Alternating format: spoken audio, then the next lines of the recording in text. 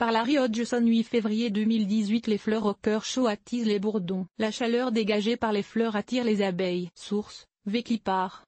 Comme, Clipart Library. Comme et Hemp.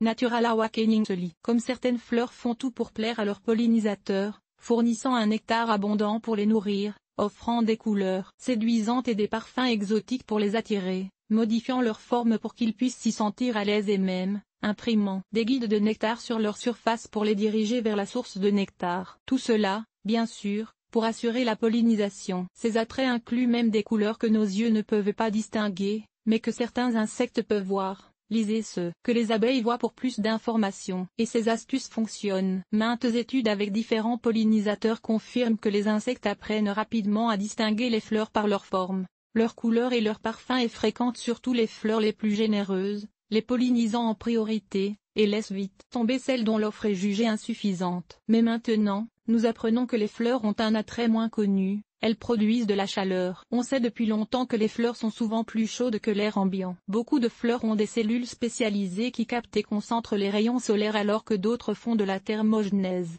Elles produisent leur propre chaleur. Jusqu'à récemment, cependant, on présumait que toutes les parties de la fleur atteignaient sensiblement la même température. Voici six fleurs vues par photographie thermale. Notez que l'une d'elles, le papaveroa, en haut à droite, fait partie des 45% des fleurs dont la température est uniforme. Les cinq autres utilisent toute la chaleur pour diriger leurs pollinisateurs. Source, University of Bristol selon une étude parue dans Elif.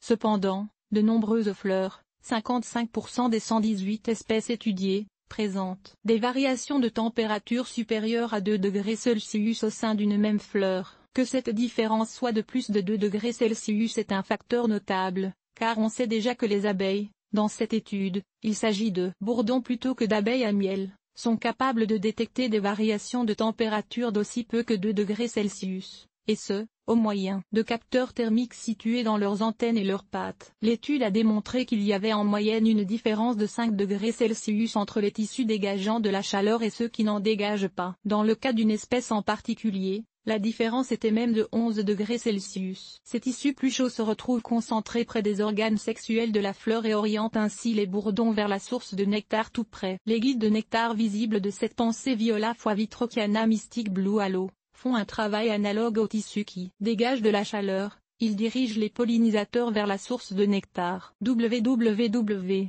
Thomson Morgan.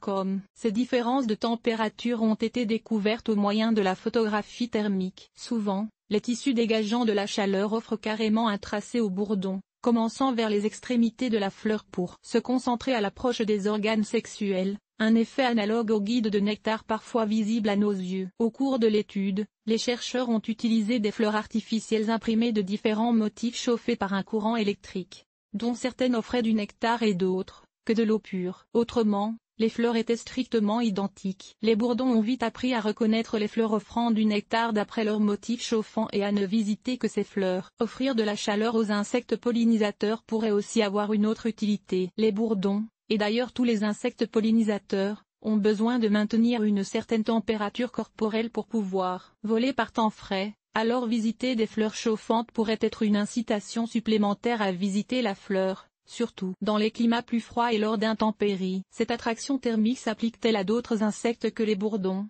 tels que les autres abeilles, les cirfes, les papillons, les guêpes, etc. Cela reste à voir, je suis sûr qu'il y a encore beaucoup d'études à venir mais il semble bien que les fleurs fassent plus pour attirer les pollinisateurs que de tout simplement prendre une belle coloration et de se doter d'un parfum séduisant. Nos partenaires locaux